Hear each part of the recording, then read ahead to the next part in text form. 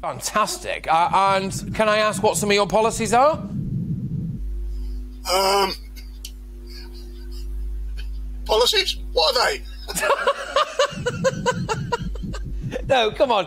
I mean, I, I think you wanted the 99p coin, didn't you? Yes, we did. Yeah, 99 pence coin, definitely. Uh, any other um, quirky ones? That'd be a good idea. I mean, um, Richard Branson thinks that's a good idea, so you never know. It was us who it was us who campaigned for um, passports for pets. Why can't you take your pet abroad for two weeks with an inoculation from your from the vet with a passport and bring him back after two weeks without going through quarantine? Don't be so loony, says it. But they're doing it now, aren't they?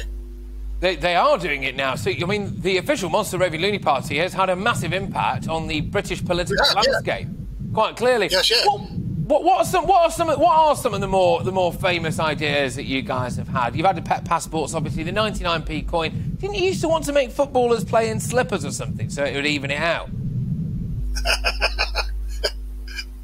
we want we want, wanted to make the um the the, the, the London cir- circular under, underground a circle Right. Okay. It's not a circle, is it?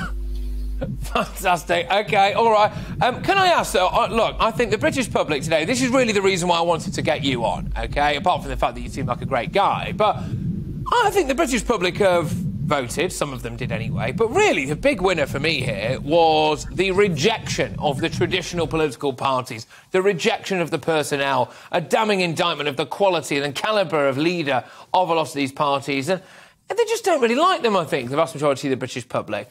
Why do you think that is? Because you strike me as a man who's always had maybe a little bit of disdain for the political establishment. Let me, something, something you said when you first opened up. Let me show you this.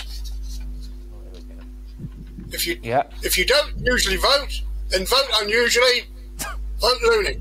that makes sense, doesn't it? Uh, yeah, I'm sure to some people. Um, yeah, no, no, absolutely. So, but but what? Why? Why did you want to do it? Why did you not? I don't know, become a Tory? Because some of them are loonies as well. Well, because um, um, I left school many many years ago and I became a rock and roll singer, and I met Screaming Lord Sutch. He was one of my best friends all through his life, and we started the Monster Raving Loony Party ourselves between us on June the 16th, 1982, and we've been okay. going ever since. We are Good there, stuff. still there now, and we now hold six council seats up and down the country. We're not doing bad, are we?